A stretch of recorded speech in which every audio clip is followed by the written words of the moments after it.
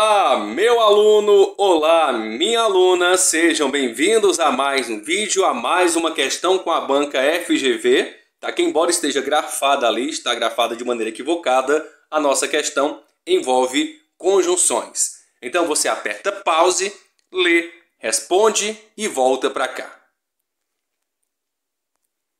Então vamos à leitura e resolução da nossa questão que envolve conjunções.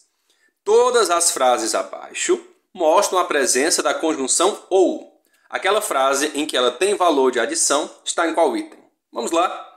Letra A. Vamos estudar ou seremos reprovados. O nosso ou aqui não tem valor de adição. Na verdade, tem valor de condição. É uma conjunção condicional. Vamos estudar ou seremos reprovados. Então, letra A está descartada. Letra B. Comprarei um carro novo um Fusca ou um BMW, né? Ele compra uma coisa ou outra, ou é o Fusca ou é o BMW. Não são as duas, não é adição. Aqui o sentido da letra B é de exclusão. Letra C, ou você se conserta ou desaparece daqui. Aqui não há opção, é uma coisa ou outra, mais uma situação que envolve exclusão.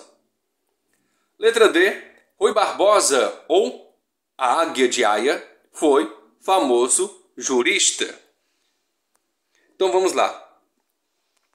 Até me precipitei aqui, né? No caso aqui, o nosso ou, né, ou a águia de águia, está especificando algo. É um valor de aposto, não é valor de adição.